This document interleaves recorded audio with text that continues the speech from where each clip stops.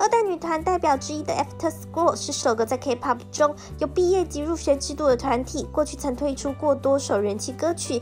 尽管目前已经不在一起活动，但还是能在各大领域看到他们的身影。没想到近日他们竟惊喜合体，引起热议。了解，二十一日，李吉在个人 IG 上惊喜上传了多张与队友嘉熙、郑雅、朱妍、r a i n a 的合照。